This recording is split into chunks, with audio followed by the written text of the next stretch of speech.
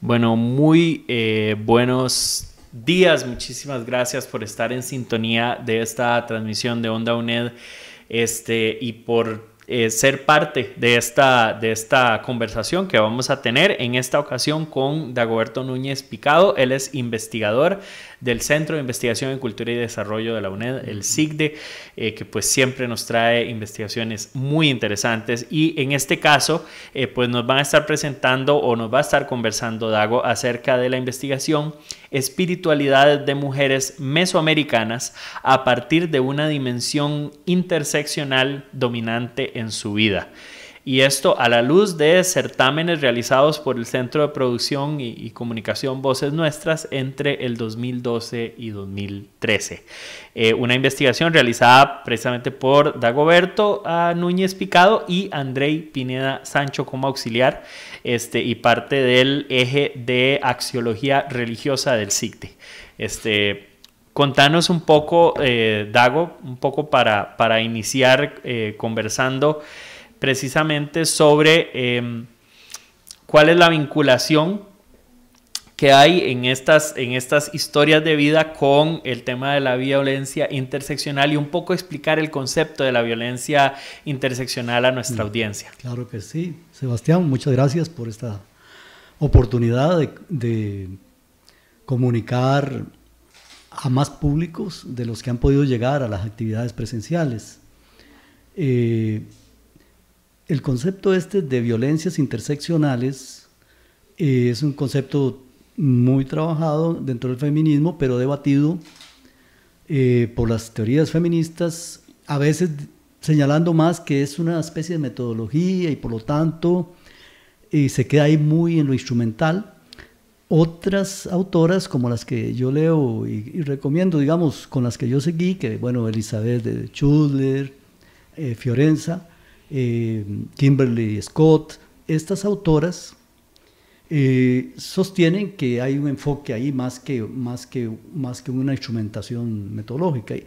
Y, analizando y viendo con cuidado sus conceptos, eh, la idea de las violencias interseccionales es, es toda una reivindicación del feminismo contemporáneo y, y, de crítica, de autocrítica dentro del movimiento feminista para lo que ellos llaman también feminismos, contra lo que llaman ellos feminismos hegemónicos, es decir, los feminismos que piensan las reivindicaciones de las mujeres muy desde, por ejemplo, la mujer eh, eh, blanca, la mujer mm, de, los países centrales. Eh, es decir, hay una crítica muy seria, muy, muy, muy fuerte dentro del movimiento feminista, en el que se plantea que hay que analizar muy bien en qué momento alguien que vive una violencia, eh, a qué obedece el que responda, por decir así, eh, de una manera no pasiva a esa violencia. Eh, digamos que el principio parece ser, el principio fundamental es que, bueno, mujeres y hombres todos estamos cruzados, estamos totalmente mm, atravesados de múltiples experiencias y, que a veces cuando nos encontramos con alguien, eh, lo que mostramos es una faceta y a veces tenemos en el lenguaje popular el dicho de que conozco a fulano o a fulana como en la palma de mi mano. Una, frase muy hecha, pero muy poco real, porque si uno a sí mismo, digamos, se esconde la mano y después se reta a describirla, eh, rara vez sabemos todas las curvas que tiene esa mano, todas las señales, todas, los quirománticos y quirománticas, ¿verdad? Quienes leen las manos, eh, nos enseñan que ese asunto de, saber eh, describir en detalle la palma de la mano es, es todo un asunto. Es decir, e, esto es análogo a lo que podemos conocer incluso de nosotros mismos a veces, para citar eh, el, concepto de, violencia interseccional, todos reaccionamos a las violencias, pero no a las mismas violencias ni del mismo modo.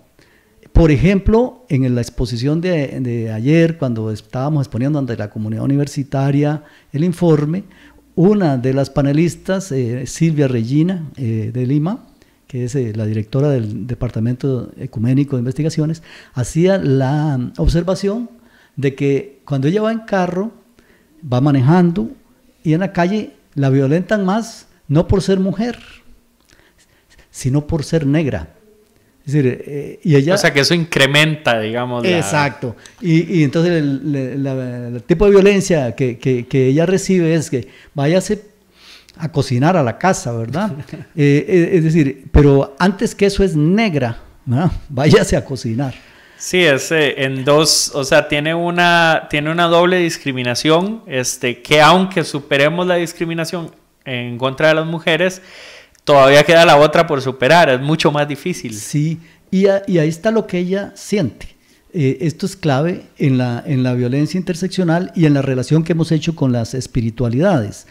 Nosotros consideramos que el, el abasto, el alimento de las espiritualidades está en la capacidad de respuesta que tenemos al salir por nuestra dignidad frente a otros, frente a violencias frente las mujeres, digamos, viviendo en una sociedad tan desigual como la que estamos, eh, viven, experimentan muchísimas más formas de violencia que las que experimentamos los masculinos.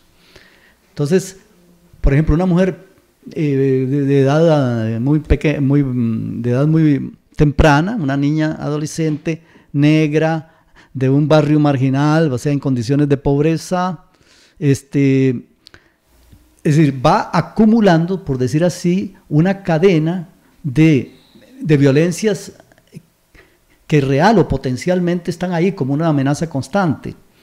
Es decir, puede ser más víctima de discriminaciones, de abusos, de violación, que otras niñas que no tienen su condición. A este fenómeno de múltiples em, vulnerabilidades en las que se encuentra es que responde el concepto de violencias interseccionales, es decir, son tantos los caminos por donde puede entrar la, violencia en la vida de una persona, ¿verdad? Según sus flancos de vulnerabilidad. Y, del mismo modo, el, tipo de respuesta, llamémosle espiritual, es decir, de salida por la propia dignidad, digamos, eh, es la persona o el grupo eh, eh, el que está consciente qué, reclamo debe hacer y cuándo y, cómo hacerlo. Entonces, ese vínculo entre la violencia interseccional que se sufre y la reacción para no padecerla pasivamente, sino para activar defensa, es algo de lo que aquí en nuestro estudio hicimos el esfuerzo de analizar y por eso le llamamos cuál es la intersección, la violencia interseccional dominante. Es decir, analizamos más de 100 historias de vida del, millar que había, pensando en, ese, en ese esquema. Ahí fuimos creando escaneos, digamos, verticales y horizontales a, lo largo de la historia de vida de las personas como también desde el punto de vista de las categorías de análisis que, escogimos. Por ejemplo, desde el punto de vista horizontal, eh, establecimos como tres grandes categorías, que era qué era lo que constituía para una persona, para una mujer de estas, de, todos los países de, Mesoamérica, ¿verdad? De, cada uno de esos países, qué era lo que constituía, por decirlo así, la fuente de su autoridad espiritual. Es decir, en qué sentido una mujer digamos, a qué reaccionaba.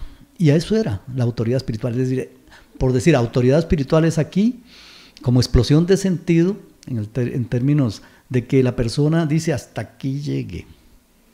Explosión de sentido sería... Eh, el punto en el que ya no aguanta más. Ya no, cuando lo que decimos que el, que el vaso se desbordó ya. Exacto. Sí. Ahora, el vaso se desbordó significa, en el caso de esta de, de espiritualidad, no es solamente un arrebato de ira. Es una capacidad de respuesta que cuestiona profundamente a quienes ejercen violencia y empoderan a la persona que respondió. Sí. Sí, entonces, y, vamos a ver cuáles fueron estas, em, digamos, en general, ya tras el análisis, cuáles fueron las tendencias que encontraron, o sea, cuáles eran esos puntos de, explosión, digamos, cuáles eran las violencias más prevalentes en las narraciones de todo lo que ustedes lograron descubrir. Bueno, uno de los capítulos del informe es, el más grande, tiene 100 páginas, el informe eh, tiene como 550 páginas.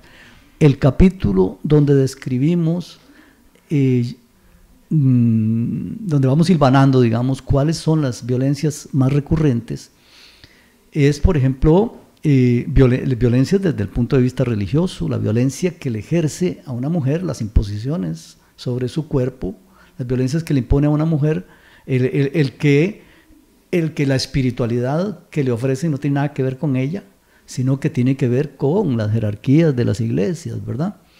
Y lo que le hacen es que le colocan por espiritualidad unas funciones totalmente mm, de limpiar la iglesia, de recoger la plata, de escuchar siempre, nunca poder decir nada, hablar en los espacios.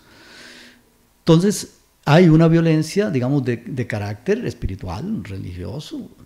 Entonces, hay otras violencias por donde ellas pasan y, a las que reaccionan, que son de clase.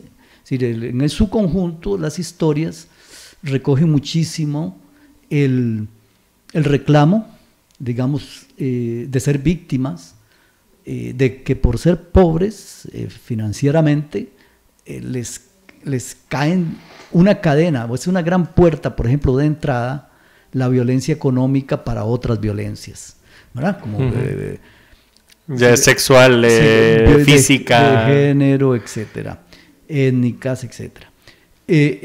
La violencia étnica tiene particularidades también. La, violencia que tiene que ver con, la, con el respeto a la diversidad, es, ahí está presente, digamos, hay, mujeres lesbianas eh, cuyos relatos estudiamos y cómo sistematizan su necesidad de articular respuestas desde esa condición, de su lesbianismo. tienen que pelear contra la propia autocomprensión, digamos, de qué les pasa, de, por, qué, por qué soy así, y encima tienen que tratar de sobrellevar, eh, bueno, todo... Eso hacia, hacia los demás. Exactamente.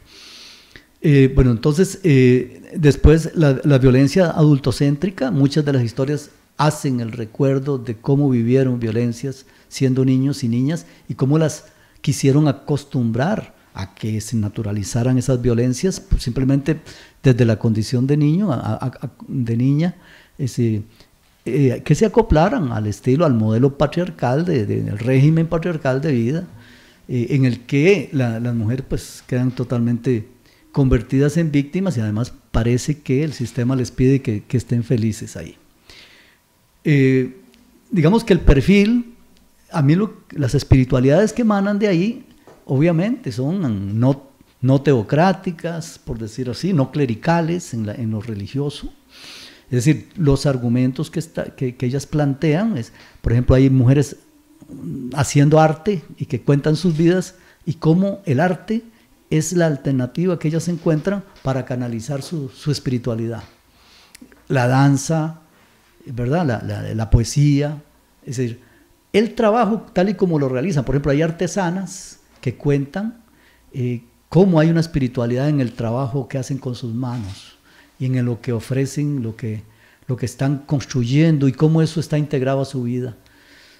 Incluyendo también eh, todo tipo de trabajo, digamos así, artístico, creativo, eh, comercial, todo lo que hacen lo integran y lo expresan de una manera muy, por decir así, unitaria, no dualista.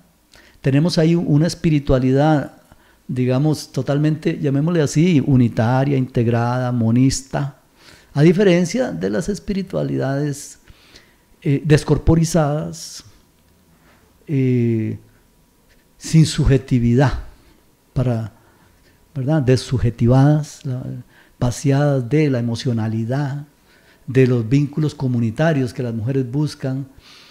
Eh, muchas de las luchas ambientalistas que lideran tienen tal energía y, perfilan tales espiritualidades tales como por ejemplo pensemos, no tengo testimonios directos eh, ahí, pero hay hondureñas que fueron amigas de Berta Cáceres, ¿verdad?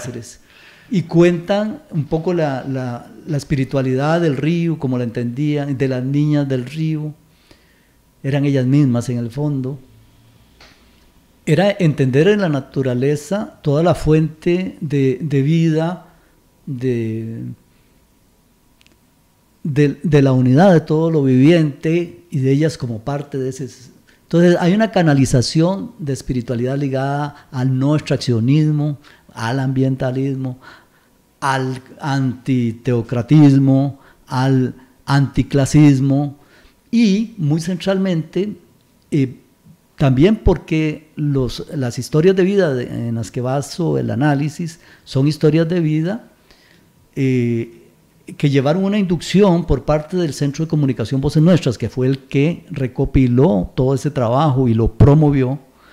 Este centro de comunicación... Sí, digamos que no, no, no, son historias, digamos que uno diría de, de, a cualquier mujer que la escogieron y ya, sino que hay, digamos, un trabajo previo de conciencia, ¿verdad? Exacto. Ese trabajo previo fue muy importante porque fue género sensitivo, digamos se fue, acercaron un poquito que como desde como mujeres, desde el cuerpo de las mujeres, desde la comunalidad que plantean las mujeres, desde la emocionalidad de la mujer, todo eso permeó y hizo que las historias salieran, por decirlo así, enriquecidas, aderezadas, con ese, dentro de ese caldo. Y, al contar ellas, están por primera vez, muchas veces, eh, muchas de ellas lo confiesan, sintiéndose integradas, sintiéndose unos seres unitarios, no fragmentados, no tan radicalmente dependientes, ¿verdad?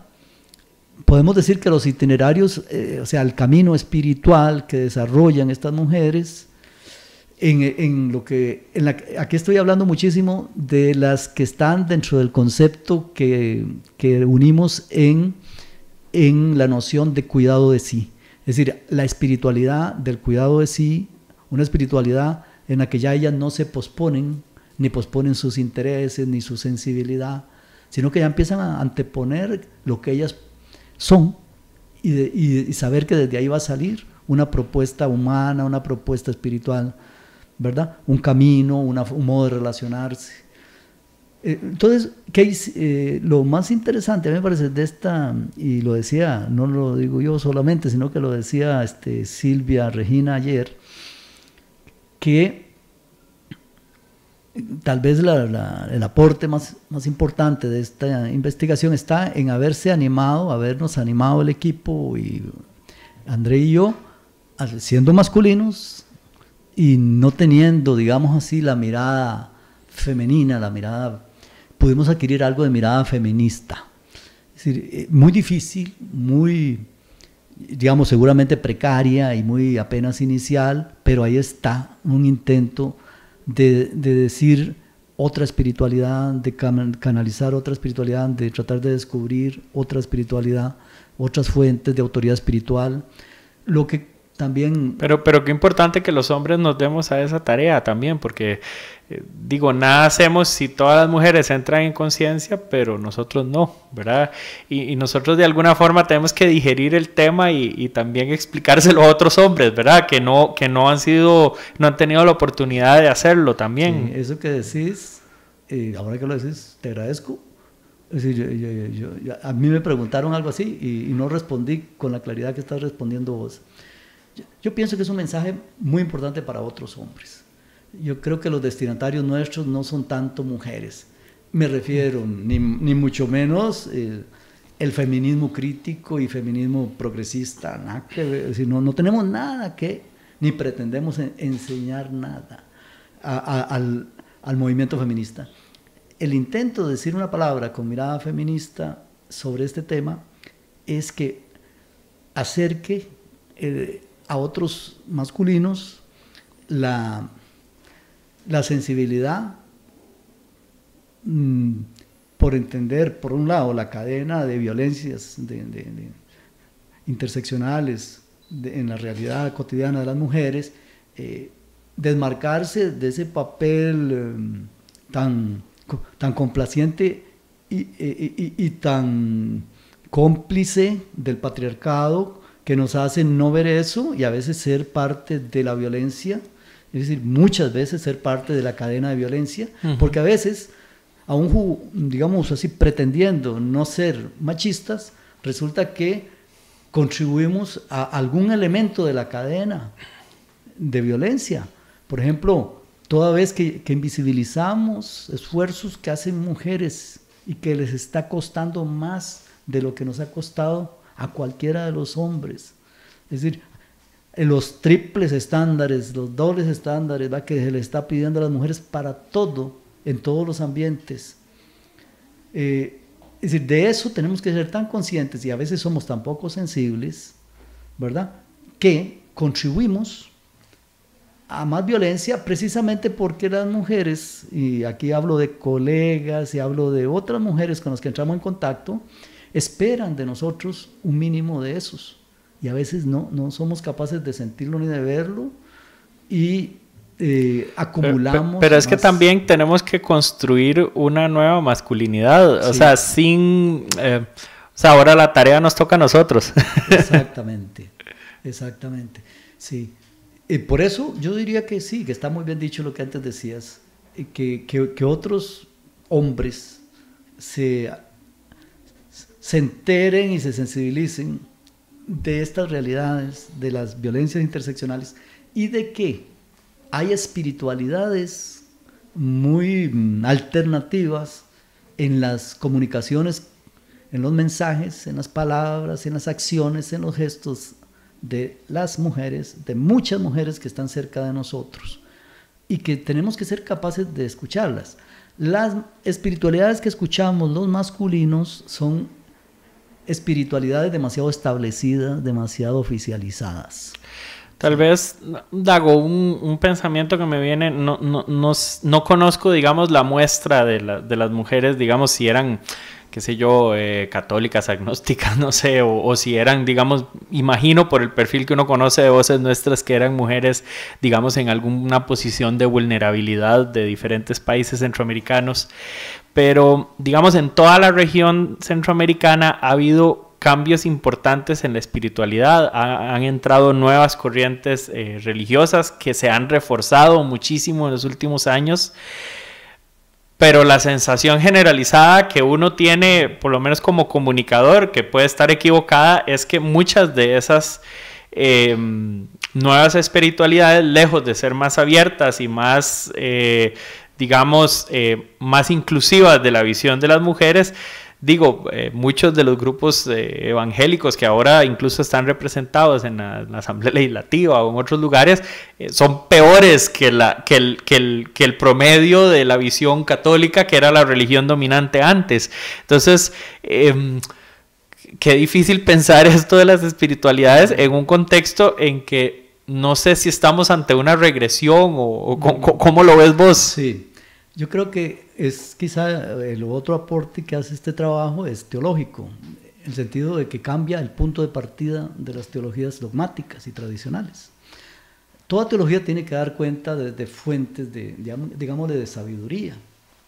Ahora, uno no puede, digamos, desde una teología, llamémosle más profana, más impura, más, una teología más inclusiva, eh, uno no, no, puede hacer lo que venía haciendo la teología clásica, la teología dogmática, que es separar a tal punto los aspectos de sus, de sus fuentes de conocimiento que, que nunca llegaban a dialogar. Por ejemplo, eh, ¿qué pasa con los fundamentalismos? Y aquí fundamentalismos cristianos y, si fueran también fundamentalismos mayenses también, ¿verdad? Es decir, hay quien agarra los textos sagrados, sean mayas o sea la Biblia y sea el primero o el segundo testamento, lo que sea, y los absolutiza y empieza una lectura fundamentalista. Uno puede hacer lectura fundamentalista de todo, no solo de libros sagrados. Pero, ¿qué es lo que está haciendo ahí? Está, está fragmentando pensando que, por ejemplo, el registro escrito es inocente. No, Es decir, hay un mundo detrás del registro escrito. Y ahora voy a hacer una analogía con lo que hace Voces Nuestras, que es genial. lo que hacen ellas es esto. Digamos, pensemos que la teología, por mucho tiempo, la teología más tradicional, acude a las escrituras cristianas, digamos. Y, y de ahí dice que ilumina la realidad.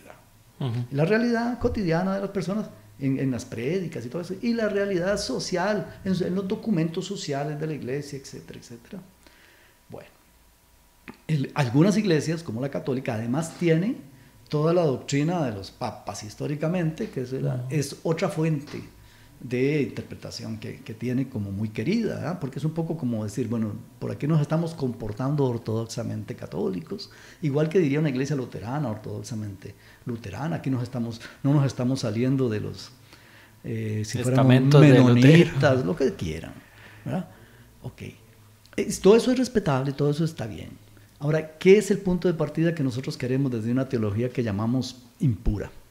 Es esto, que se tome en serio que los seres humanos eh, que dieron testimonio y que compartieron la vida, que luego generaron diálogos y escrituras, pero antes de generar esas escrituras, generaron, eso pasó por, por leyes, pasó por, por bailes, pasó por, es decir, hubo un mundo vivo que fue eh, expresión eh, estética, de, los conocimientos, de, de, los sueños, de la imaginación, de, estas, de estos seres humanos, que luego fue pasando a, formas eh, rígidas, por ejemplo, escritas, por ejemplo, y muy editadas, porque todos los textos sagrados han sido editados, eh, le han quitado partes, le han agregado otras.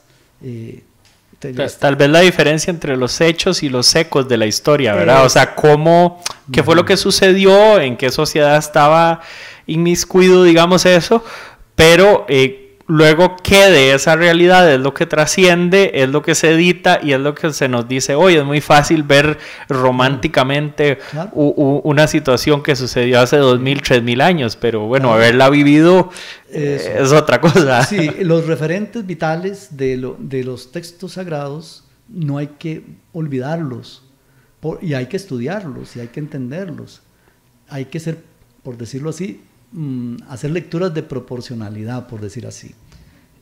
Eh, esos textos son testimonios, son ecos de lo vivido y que se han fijado. Entonces, y eso produjo un conocimiento, una sabiduría. Es decir, no, digamos así, así como hay patrones eh, fundamentalistas que pretenden que esa letra dice así eso es lo que significó, eso es lo único que significa, pues también hay lecturas de, sabiduría de esos textos que dicen, bueno, aquí lo que vale es el testimonio. Estas personas nos están contando la vida desde hace mucho. Ok. Entonces, miremos hoy a los seres humanos que, somos y a las personas que viven una búsqueda profunda de sí mismo y una búsqueda de comunión con los demás en la forma de organizarse, en la forma de compartir, y, miremos ahí como si fuera una revelación de algo sagrado en el presente y en el futuro y en el pasado. Es decir, la fuente vital de, de lo sagrado está tan presente en la vida hoy como lo estuvo en aquel pasado que quedó retratado, quedó testimoniado en los textos sagrados. Si hagamos una lectura, llamémosle así, diría ve que es el teólogo que me inspira en esto, que es, hagamos una lectura de proporcionalidad. Hagamos, allá hay, una, allá hay un texto que inspira, que fue inspirado por acción y por celebración y por luchas y por sueños. Aquí tenemos seres vivos, hagamos una lectura de que aquí hay seres vivos soñando, imaginando, luchando, queriendo eh, cosas para sí, para los demás, cosas que son particulares, que ya no son como aquellas, porque esta sociedad no es aquella. Hagamos una lectura de proporcionalidad, pero respetemos la dignidad, la búsqueda de comunión, la búsqueda, las alternativas, las grandes preguntas que se hacen estas gentes, los sueños de estas gentes. Y ahora sí, no importa, podríamos encontrar en textos sagrados cuestiones afines, pero que ahí hay autoridad espiritual, no cabe la menor duda. Es decir, cambiar al registro de lo viviente, de lo vivo, de la organización humana, de la, cambiar el, el registro hay que mirar al ser vivo, al ser viviente. al, que está hoy acá y, y, no solo verlo desde lo que estuvo. Exactamente. Y, y mirar los testimonios de los libros sagrados como lo que son testimonios. Tal vez, eh, Dago, pues ya nos, nos come el tiempo, pero hacerle tal vez de todo lo, lo aprendido. Eh, una reflexión final a quien nos ve y, nos escucha de qué podemos aprender de, estos testimonios y qué podemos hacer em, cediendo desde nuestra posición de, poder o, más bien luchando de nuestra posición de no poder, dependiendo de donde estemos, eh, para, digamos que podamos ver el mundo de, una manera distinta y, podamos incluir estas visiones de sabiduría eh, y dejemos de lado un poco esa rigidez social, ¿verdad? Hay, un concepto que a mí me gusta mucho y que, que es teológico, básicamente, es el, es el concepto de ecumenismo. Hay que tratar de criticar una forma de ecumenismo en la que una iglesia poderosa convoca a las demás para decirles cómo son las cosas. E, esas otras iglesias, si se quieren sumar como sucursales, van a llegar digamos, todas las convocatorias de ecumenismo que hacen las grandes iglesias como la católica y tal, pues terminan en buenas intenciones, incluso con, papas como, como Francisco, que es un gran, eh, un gran teólogo y un gran pastor. Eh, el principio de ecumenismo lo que nos diría es que, digamos, convoca mucho a lo que hoy se conoce como interculturalidad. Es la capacidad que tenemos de que las veces que nos encontramos como seres humanos seamos capaces de entender que tenemos una particularidad que ofrecer, pero que tenemos también muchas particularidades ajenas de las cuales aprender. Digamos que quizá este mundo de los testimonios que recogieron en voces nuestras, de una manera tan genial, porque resulta que recogen, eh, procesan, hace, las personas escriben, y después, bueno, se respeta quienes quieren publicar o no, pero además se crea otra vez, se devuelve la voz a través de producciones radiofónicas que, eh, de las personas que quisieron que, que, también sus, sus voces salieran por ese medio. Es decir, esa elaboración de devolución es la que yo siento que es genial y tiene mucho que ver con el concepto de ecumenismo. Por ejemplo, de soltar la posición de poder, digamos. Exacto, y saber que es posible un poder compartido y un aprendizaje compartido y en las tradiciones espirituales simplemente sentarse a ser capaz de, celebrar la belleza de lo que es el encuentro de seres humanos distintos, de seres humanos que, eh, por ejemplo, voy a hacer una especie de caricatura, si, en, los, en, los, ecumenismos, en países más, más inclusivos de lo diverso, pues entra, por ejemplo, el vudú, conversando con, no sé, las tradiciones, eh, he leído un poco, eh, en, los, países más afro, hay una gran diversidad. Desde la santería hasta los dioses. Se integran, pero se, se acepta la, la, el poder de lo que la espiritualidad del otro, pero eh,